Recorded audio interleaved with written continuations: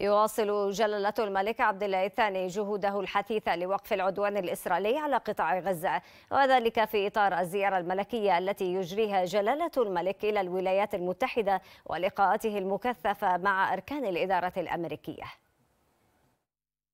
خلال لقائه الرئيس الأمريكي جو بايدن في واشنطن أكد جلالة الملك عبد الله الثاني أن على المجتمع الدولي التحرك فورا لمنع حدوث كارثة جديدة في غزة جراء الهجوم الإسرائيلي على رفح.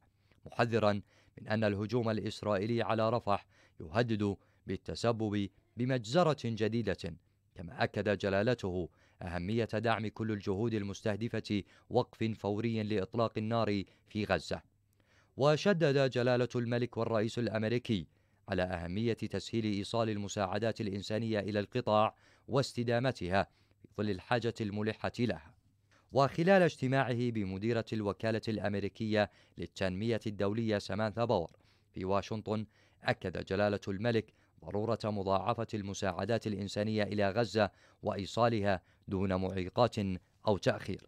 وتطرق الاجتماع إلى دور المنظمات الأممية في تأدية مهامها الإنسانية بالقطاع أكد جلالته أهمية مواصلة دعم وكالة الأمم المتحدة لإغاثة وتشغيل اللاجئين الفلسطينيين أونروا لتمكينها من تقديم خدماتها وفق تكليفها الأممي. والتقى جلالة الملك رئيس مجموعة البنك الدولي إيجاي بانكا وبحث سبل تعزيز التعاون الاقتصادي والتنموي. وتناول اللقاء جهود الأردن في التحديث الاقتصادي وتحديث القطاع العام.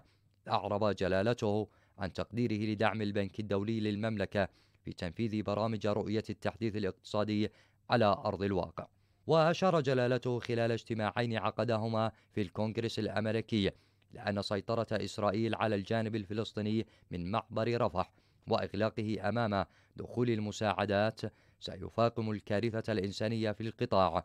وأكد جلالة الملك إدانة المملكة للاعتداء على قافلة مساعدات أردنية كانت متجهة إلى غزة عبر معبر بيت حانون من قبل مستوطنين إسرائيليين.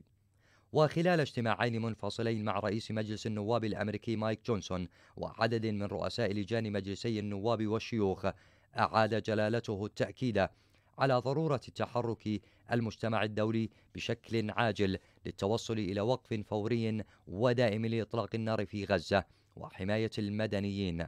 وجدد جلالته التأكيد على موقف الأردن الرافض لأي محاولات للتهجير القسري للفلسطينيين بالضفة الغربية وقطاع غزة.